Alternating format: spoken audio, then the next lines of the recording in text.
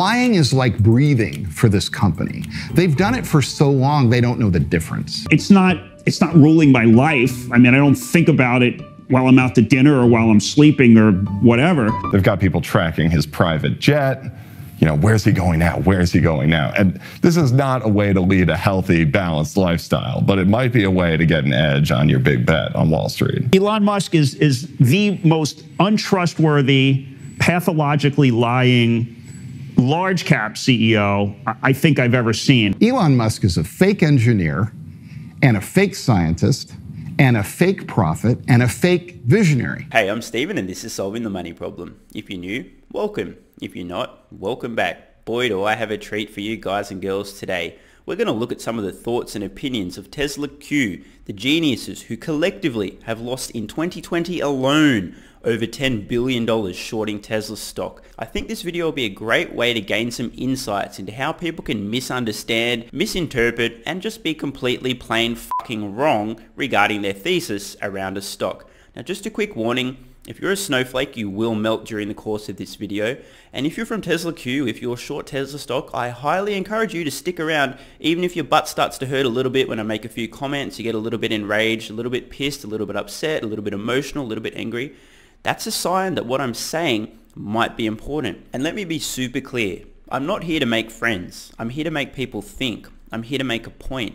I'm coming from a place of kindness, compassion and empathy. I really do not want to see people losing tens upon tens of billions of dollars throwing money at a company they think is a great short that's headed for bankruptcy, that's run by a fraudulent, dishonest CEO when they're clearly barking up the wrong tree. So grab some popcorn, get comfortable, and let's get into the video. But first, don't forget if you'd like three free stocks, check out the link in the description to Webull, sign up, open a new account, deposit $100, you'll get three free stocks, two of them valued between $8 and $1,600 each. And if you're in Australia, the UK, or New Zealand, you can get a free stock with stake, also using the link in the description. Let's get back to it. And guys, this is just my style, my personality. I don't know how to do this any other way. I'm not one to coddle, I'm not one to sugarcoat or blow smoke up anyone's ass, so you may need to keep your daddy nearby for comfort, for hugs, etc., or at least a teddy bear, something along those lines. It's not going to be gentle, but it needs to be said. The clips in this video are all from an early 2019 documentary, about 19, 20 months old as I'm recording this. There's a link in the description to the full video and I highly recommend you guys check it out. So let's get into it. I've been called obsessed with this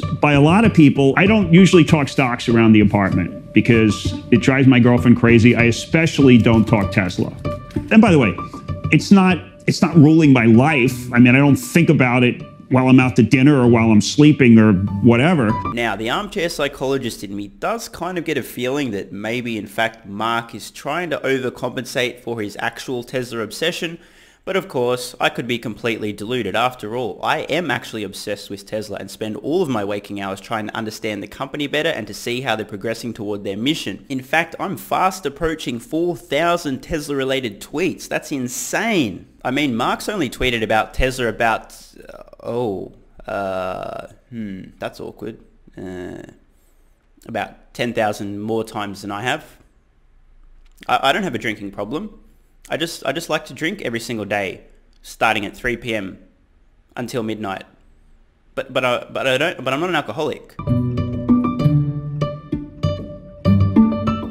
Um, but none of us can believe what's so obvious and out there in plain sight is is being improperly priced by the markets. Number one, um, it has nothing meaningfully proprietary in terms of technology.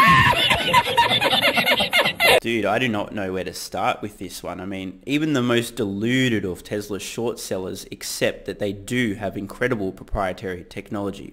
This is why they're achieving greater range with their vehicles than anyone else. Why they're manufacturing their EVs more profitably than anyone else. Why their vehicles are safer than anyone else.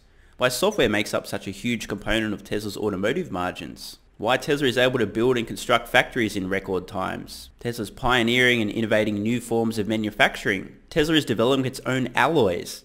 Tesla has developed its own full self-driving data chip. Like, I could keep going on for about 45 minutes. This is just complete and utter delusion. I shouldn't even be wasting my breath addressing this. This is a pretty clear tell about how deluded Mark Spiegel is about Tesla. Now, again, this isn't personal. I'm not coming from an emotional place. But the guy is living in delusion. This is a man who is deluded. Number two, it loses a lot of money. It's lost all this money before the real competition is coming. Oh yes, the competition is coming and Tesla can't make a profit. They're losing money. Now, in fairness to Mark, this was shot 15, 18, 24 months ago, somewhere in that range. At that point in time, Tesla hadn't posted five consecutive quarterly profits. But this posting of five consecutive quarterly profits hasn't come as a surprise to people who understood the business, and that is Tesla, while bringing in billions of dollars of revenue, billions of dollars of cash flow, are making the decision, well, we could please the numbnuts on Wall Street who are looking for a profit after three quarters in this business that's going to transform the world over the next three, four decades, or we could take that money, we could invest that money in new factories and new equipment and new manufacturing techniques and research and development and accelerate our mission and reach larger scale of production. What should we do? Should we go for scale and bringing our costs down or should we please the numbnuts on Wall Street? Obviously, we know that Tesla's been investing in growth and scale. They're now producing around half a million vehicles per year. Next year, it'll be closer to 1 million vehicles per year. This thesis now is completely dead in the water. The idea that the competition is coming, we've seen it arrive. The competition is coming all over itself.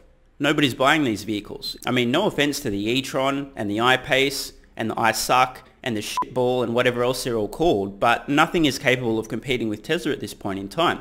They're a laughing stock. They're making no money on these vehicles when they sell them, and nobody's buying them. As for profitability, Tesla has now demonstrated what was kind of obvious to anybody who really looked at the business before they were making their profits, that they would come in the future. This is called investing.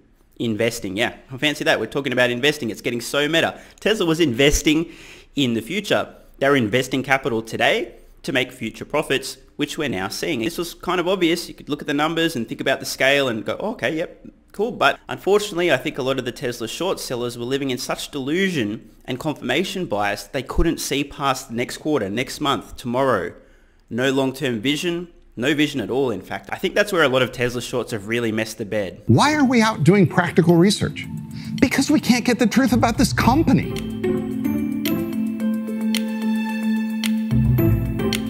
Lying is like breathing for this company.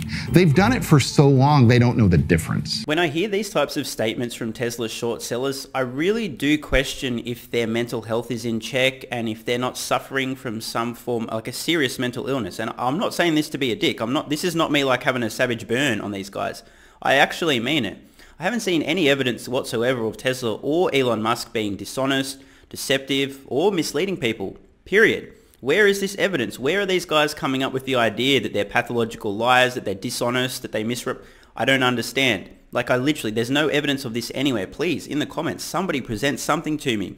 The only thing you can fault Tesla or Elon Musk on is for predicting timelines for products, releases, these kind of things.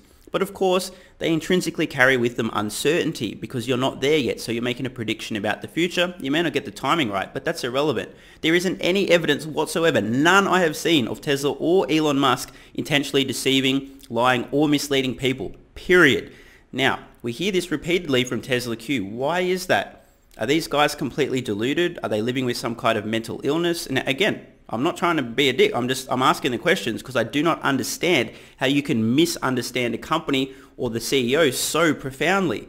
Where do they come up with this idea that Tesla or Elon are dishonest? I do not know. I've searched for reasonable, quantifiable, bullish arguments to support the value of Tesla equity exhaustively, and I have not found one.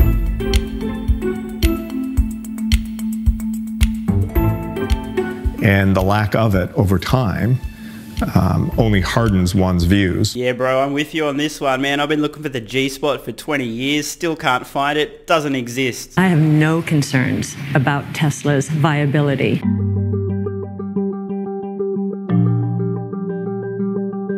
Tesla is delighting the consumer.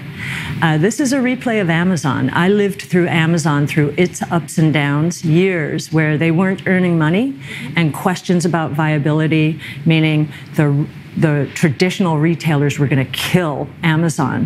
Uh, if if you were looking through the lens of disruptive innovation, you knew that wasn't true. Well, speaking of not understanding Amazon, Our friend Mark Spiegel tweeted this in early 2015. I think Amazon is the second most overvalued megacap after Tesla and that it's finally time to short it. So I am. I wonder how Amazon stock performed after Mark initiated his short position. Oh, good call Mark. Amazon stock only up about 700% since you decided to short the company. Good track record. Tesla has 80% share of the electric vehicle market in the United States. It's in the top five selling of all cars, gas powered or electric. The consumer is speaking very loudly here. The competition is coming, the competition is coming, the competition is coming, la la la la la la la la. They were even forced to build a giant tent the size of two football fields at their factory in Fremont, California, to use as a third production line, raising questions on quality for Tesla Q. The tent was my aha moment. Yeah, that was the moment when I realized we were not dealing with a serious company. We were dealing with a desperate individual uh, who had set performance metrics that he couldn't meet and was now in a situation that he couldn't completely control. I truly find it incredible that the same data can be interpreted so differently. Tesla Q, oh, Tesla doesn't know what they're doing, they're incompetent, they're hopeless. Meanwhile, I see the tent go up in record time, become a new model for how they build production lines in the future and think to myself, wow, those Tesla engineers are very resourceful, they're very smart, they managed to solve an enormous problem incredibly quickly and now they have a model to replicate in the future for building factories in record time and producing vehicles even more efficiently. Wow, that's impressive. I wonder what other problems those smart engineers will be able to solve in record time in the future. Meanwhile, the Tesla short seller interprets this as incompetence, incapability, desperation, etc. Amazing, isn't it? Today's magic word is infer. They've got people tracking his private jet. You know, where's he going now? Where's he going now? And this is not a way to lead a healthy, balanced lifestyle, but it might be a way to get an edge on your big bet on Wall Street. I agree completely with Charlie here. I actually think that obsession is a great way to get an edge in investing. However, obsession colored by delusion, not so much. The unveiling of Tesla's newest Model Y is met with questions about where and how it will be made. The Model Y. Yeah. There's nothing. They don't have a factory to build the Model Y in. They don't have enough money to develop it or buy the equipment for it. Poor Montana Septic. I feel so sorry for the guy. I think, again, his bias towards this company, his misunderstanding just didn't enable him to see the facts before his very eyes. Let me explain. When Tesla unveiled the Model Y, they also told us that it shares three quarters of its parts in common with the Model 3. If we use that word of the day and infer, we can infer that if this new vehicle is using three quarters of the same parts in common, then in theory, Tesla already has around three quarters of the necessary equipment to build the product for the Model 3, which they can also use for the Model Y, not requiring those billions of dollars of investment. Again, with such intense bias and delusion, it's really hard to actually infer reality based on the available evidence. You infer further delusion because you're not seeing clearly. I feel bad for this guy. He's trying his best. The comments would have made sense in the absence of Tesla being very clear that these vehicles shared three quarters of their parts in common. We saw how quickly the Model Y ramped. It was revealed and then released about nine months later. They ramped the fucking product in less than a year and are profitably delivering them already. Model Y is an absolute killer. It's highly profitable. They're selling like hotcakes and Tesla spent hardly a cent ramping up production as their financial results have shown. They need billions of dollars right now. At some point, even the stupidest investors wake up and stop pouring money down a rat hole. Hot? Kettle?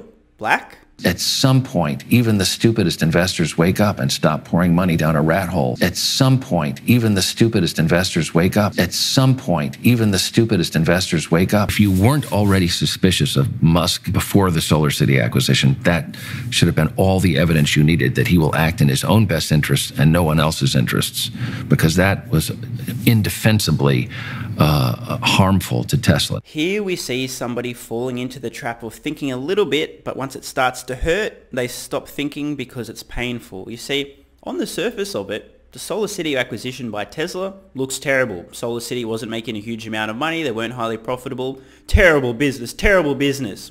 Never mind the future, never mind the vertical integration, never mind the ability for Tesla to upsell and cross-sell products, never mind any of that whatsoever. Terrible, terrible business.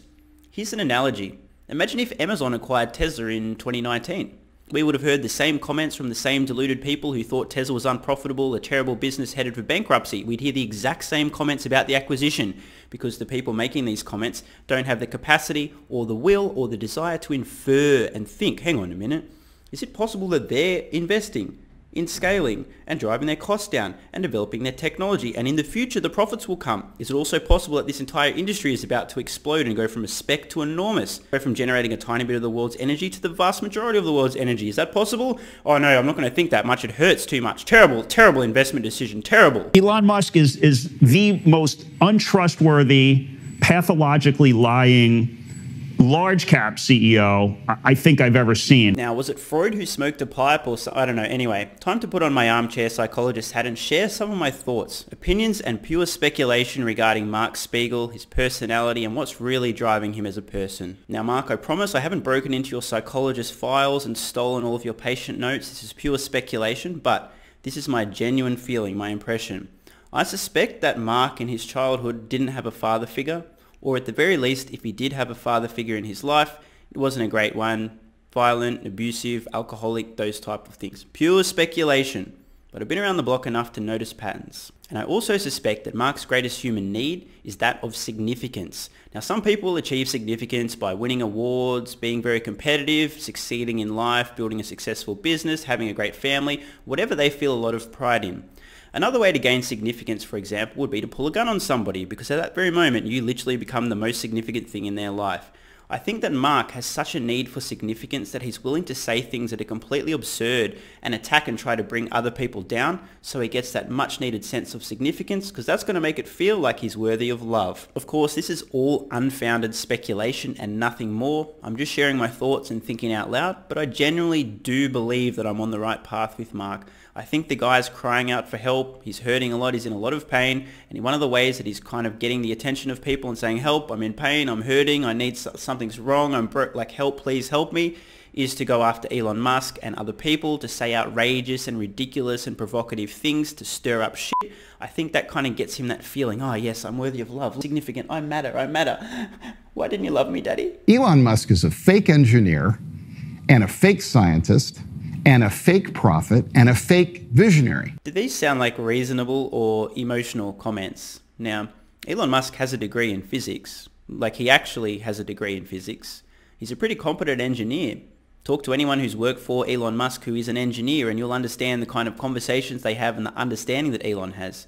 There's been many times in the past where Elon has had an employee who wasn't able to do something and Elon's got so pissed up and fed off that he sat down, kicked them off the job and did it himself, whether it was software engineering or something else. He's a pretty bright guy.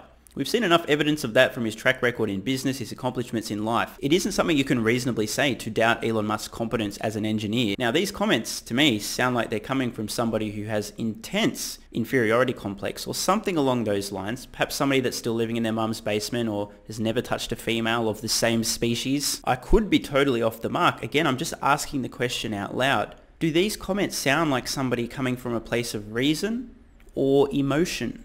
Just asking the question. Elon Musk is a fake engineer and a fake scientist and a fake prophet and a fake visionary. Do your own research and of course draw your own conclusions or say, look, still inconclusive, I don't know really what's going on here. That's okay. But do these really sound like reasonable comments? The reason I'm asking this question is to build up a picture.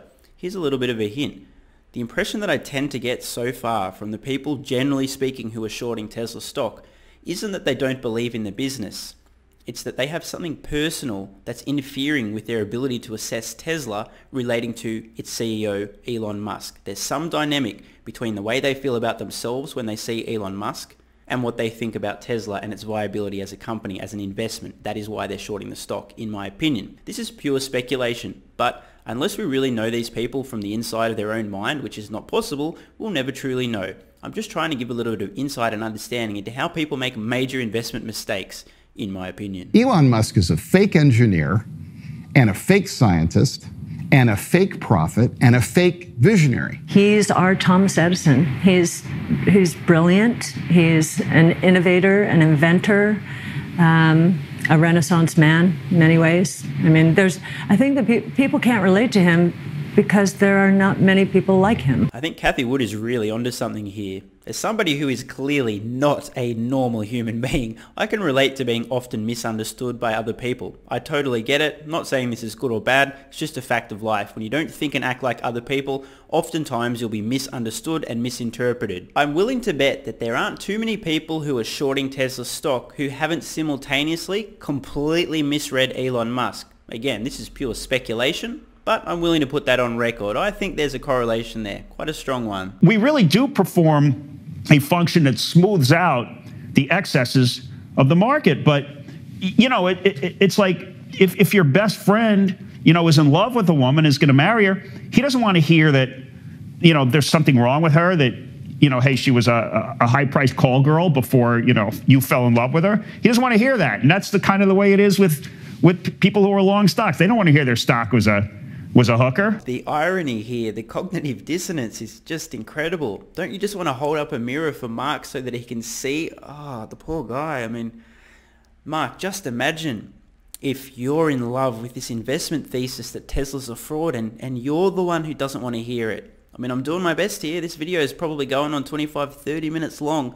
Just trying to help a few people who think Tesla's a really bad company, who are shorting the stock, very bearish, just to think and consider the people they've been listening to, the thinking and the reasoning. Does it check out? I'm, I'm trying, Mark. I don't know what to say, dude. Like, mirror, just just have a quick glance. Just just consider. Just consider the, the possibility, please. Mark, uh, what's his name? Uh, Spiegel guy, who's one of the most quoted short sellers. He barely has any money. I'm like, what? Why isn't there some rule that you can't really say crap if you don't actually manage real money? You know, and that's the joke of this whole thing. I'm the guy with $840 million on my computer buying and selling stocks for 5,000 people. Okay. And these are guys sitting in their office with like $2 million of like grandma's money, you know, pretending that they're like real investors. Now, it's easy to laugh at these comments from Ross, but he actually has a very serious and important point. It's true. Mark Spiegel is managing a few million dollars, chump change in comparison to somebody like Ross, who again is chump change compared to others out there. Now, this isn't to say that people with a small amount of investments, a small amount of assets can't share their thoughts and opinions, but if their track record is as spectacularly poor as Standstill Capital managed by Mark Spiegel, I mean, the guy shorted Amazon in 2015. Great idea. Look at his returns, his letters. Usually it's like, well, our returns are really, really, really, really, really, really, really bad. But that's because Tesla's a fraud and this will eventually be okay because Tesla's going to zero and we'll make all of our money. Sorry, we lost all your money again. Please don't leave the fund. Approximately, allegedly, do your own research, blah, fucking blah, blah, blah. I loathe the thought of still having to tweet about this stock in six months or a year. I just, but I can't let it go because I'm a deep obsessive. That's an impressive level of honesty and self-awareness there from Tesla Sharts. I can't let it go. I can't let it go. I can't let it go. They are the beneficiary of endless subsidies. They are the beneficiary of mandates that tie their competitors down like Gulliver among the Lilliputians. And that is what I find offensive. It's a horrible misallocation of capital. Is it just me, or does Montana Septic appear to be very emotionally invested in this? I mean, he really, really, really is putting some feels into this one. It's not just talking from a business perspective. I wonder what would motivate him to be so passionately, viscerally disgusted by the fact that Tesla would have any access to any forms of subsidies whatsoever. Let me do some research. Tesla troll and short doxed as heavily invested in oil industry. Musk reportedly calls his boss. Hmm, this sounds salacious. One of Tesla's biggest anonymous trolls slash shorts has been doxed as an investment manager heavily invested in the oil industry. Hmm, that's interesting. He has now deleted his Twitter account, which he used to promote his blog post about Tesla and attack anyone saying anything that could be perceived as positive on Tesla after Tesla CEO Elon Musk reportedly called his boss to complain about his behavior. We are talking about Montana Septic, who has been using Seeking Alfalfa, a financial blog aggregator, and Twitter to push the bear case on Tesla for the past three years. Hiding behind his anonymous persona on social media, Montana Septic went beyond just pushing the bear case. He also used the platforms to send insults and attacks to Tesla bulls, bloggers, YouTubers, and reporters discussing anything that he saw as potentially being positive for Tesla, including myself on numerous occasions to the point where I had to block him. This is the author Fred Lambert of Electrek sharing his experience interacting with Montana Septic. Given what we've just learned, I think that we can gain a little bit of insight into where the strong emotion in these comments from Montana Septic is actually coming from. The fact that Tesla is eating the lunch of and single-handedly, one by one, destroying his oil-heavy stock portfolio, allegedly. That is what I find offensive. It's a horrible misallocation of capital. The key element of the Tesla bull case and the Tesla bear case is the same thing. It's Elon Musk. Um, Elon Musk is willing to do anything to win, is the bull case. And Elon Musk is willing to do anything to win, is the bear case. Brilliant insight here from Tesla Charts. I think he's hit the nail on the head. It really does come down to Elon Musk and people's perception. I believe that most of the people shorting Tesla stock at this point in time perceive Elon Musk in a negative light, whether they don't think he's capable or competent or honest, etc. I mean, whatever they want to project onto Elon, I really think that's what's happening. Whereas the people that are very bullish on Tesla stock really do believe in Elon Musk's capability to execute on their plans and maybe, just I mean, maybe they've also just had a cursory glance at his track record. Oh, yeah, he did all that shit. Wow, yeah, okay, cool. That's a pretty good sign. I mean, I'm purely speculating here, but I actually think that Tesla Charts is really onto something here. Great and eloquent way of explaining the key distinction between Tesla bulls and Tesla bears. Now, of course, there will be exceptions to the rule. Some people purely just looking at the numbers think they're analyzing an automotive company and think Tesla's garbage. But overall, I think he's really made an important point here. If Tesla does come crashing to Earth, as I firmly believe it will, its demise will ripple through every asset market on Earth. Can we get a little If I'm wrong, it may signal that much of what we thought we knew about business is now obsolete. I couldn't have said it better myself. What a great place to wrap this video up. I'm Steven Mark Ryan, this is Solving the Money Problem, and I love you all. Even Tesla Q. But guys, seriously, just stop. I mean, please just try to see things from the other perspective. Just just try. You're gonna you're just gonna keep losing money. You are just gonna keep losing money. Don't forget if you'd like three free stocks, check out the link in the description to Webull. Sign up, open a new account, deposit $100. You'll get three free stocks. Two of them value between $8 and $1,600 each. And if you're in Australia, the UK or New Zealand, you can get a free stock with stake also using the link in the description. Thanks so much for watching. Let me know your thoughts in the comments below. And of course, if you have any ideas for future videos, let me know. I read all your comments. P.S. If you're still watching, you're awesome. If you'd like early access, exclusive videos, regular Q&As, our private Discord server and more, consider supporting the channel at patreon.com slash solving the money problem so I can keep creating content for you guys. There's a link in the description. You can now also become a member of the channel for some exclusive perks. To learn more, click the join button next to subscribe. And don't forget to check out our merch store. Either way, the best form of support is you being here and watching, so thanks again.